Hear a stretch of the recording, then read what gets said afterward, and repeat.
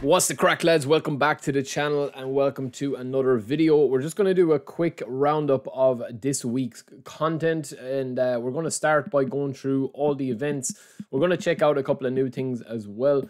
For people asking, and a lot of people will ask, um, I do think that they will add some stuff in here uh, quite soon. I think within the next like couple of weeks. Um, but for now, we've just got everything the same. So if you've missed out on any of these players, um, you know, such as these ones here, Inzaghi, they are slowly, slowly going. So 60 days time, these will be gone, Andy Cole, all those. And then the rest of the boys will probably be uh, recycled. I'd say we'll get a couple of new ones in there, right? So that's just to cover that. There is nothing in the eFootball Points shop at the moment. Moving on to the events, there is nothing in authentic events today uh, or this week either. Uh, maybe we'll get something Monday, but as of now, there isn't. Obviously, you've still got your friend match and trial match and co-op and all that. In the Dream Team events, you can see here that we do have a new event that's going to tie into June's campaign. So this is just your your normal player of the week. You just win this one.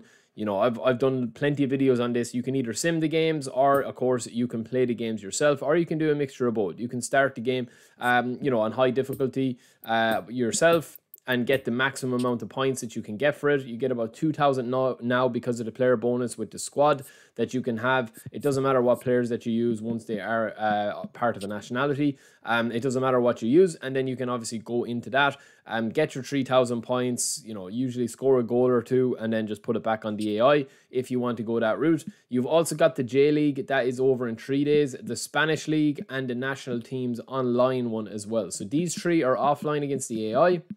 You get your player of the week with this one, and this one is a conditional event. So this is an AI event with the challenges already locked. Check out the rewards on offer and start with the challenge of your choice. So I do like that they're kind of changing things around a little bit, that you can just go straight for this one if you want to.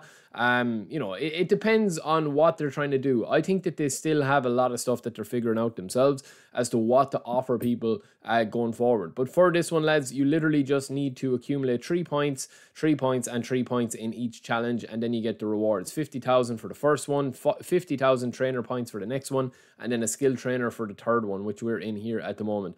Look, it is nice. I think all the all the event conditions and stuff like that they need to include uh, filters for online. That's the big one that they need to include. You know, like three star teams, four star teams, don't have a player over 90 in your squad or stuff like that. Because at the moment, unless you are going for like God Squad mode and you want to be Division 1 tryhard mode, like I've done in the past, um, it doesn't really reward you to play Road to Glory uh, because you're going to come up against just God squads most of the time, you know? Because look, when I'm playing with my full squad, I want to play with my full squad. Do you know that kind of way? It's not my fault if I've got a better or worse team than my opponent, and vice versa. Some people have unbelievable all legend squads with 100 overall in every position. So that's not their fault, man. That's their choice to, to, to, to open and do what they want to do and that's what the game allows them to do. So um, if you are playing like level 3, um, you are at a bit of a disadvantage, right? But the event conditions of this one are include 23 players from the following teams. So it has to be Barca or it has to be uh, Spanish league teams, right? So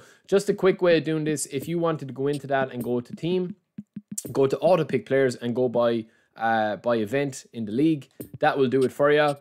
You go back out and then you will have your conditions met because it'll put the team uh, proper for you, right? So just a lot of people still a bit, little bit confused about that. We also have the national teams one, so they're against the AI, so they can play them against the AI and get a load of rewards. This one is for your 50 eFootball coins, so uh, there's event conditions that apply in this one as well.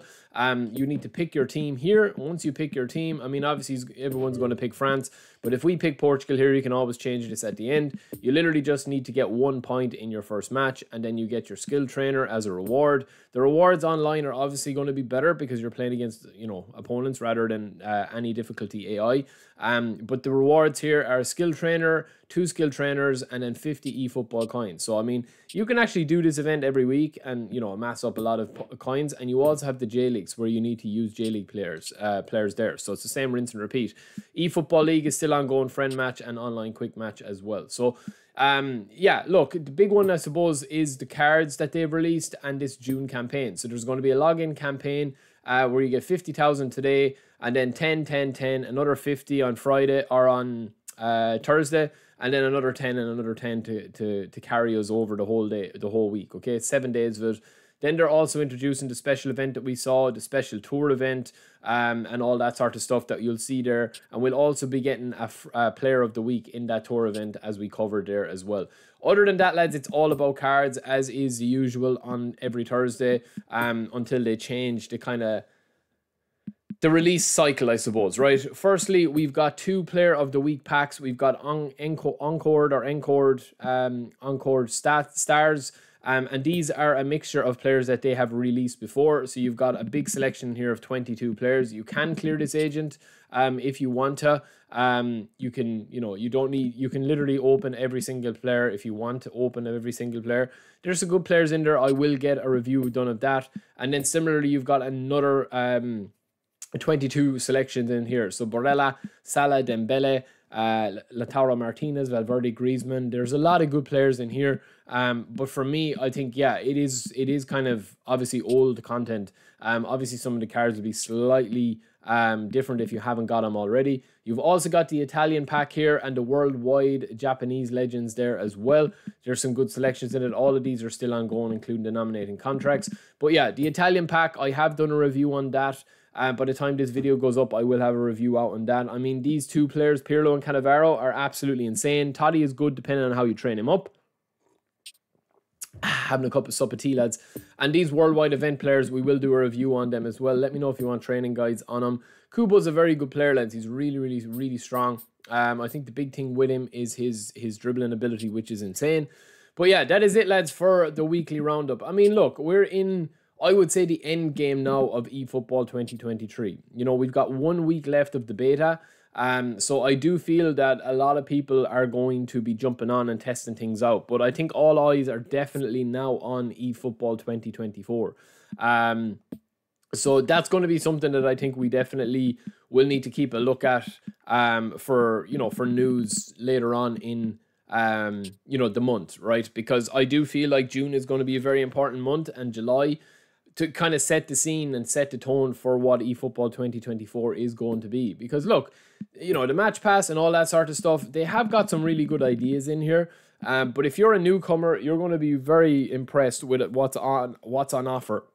Especially if you've if you're coming from FIFA, or especially if you're coming from another sports game where the grind is very heavy. You know, I used to play a lot of NBA 2K, and the grind is just you know, you'd need to be playing 35 hours a week just to compete online with the dream team and building your squad. And if you wanted to stay free, free to play. Whereas on this game, I do feel like it is very inviting for newcomers. Um, and you do get like overwhelmed with so much free stuff and events and stuff to do. It's just about finding that little, um, that little kind of like little little hole for us or that little kind of platform for us that have been playing the game for a long time and are looking for something new. Look at co-op and the impact that's had. I've been really enjoying co-op. I'm going to be streaming again today. Um, but yeah, that is it for me, lads. I'll be back in a bit and I will talk to you later. Peace. Don't forget to subscribe.